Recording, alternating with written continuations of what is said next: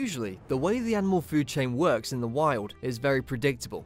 The snake will prey on the mouse, the frog and lizards will eat the insects, but that is not the case for the mantis. Although they are pretty small and don't look all that strong, their appearance is deceptive. The ones you may have thought of as prey are surprisingly one of the most dangerous. With a length of 1 to 6 inches, a mantis could kill an animal that is double or triple its size. This is because of the structure of their whole body. Their head is shaped like a triangle that is supported with a long neck and a broad chest.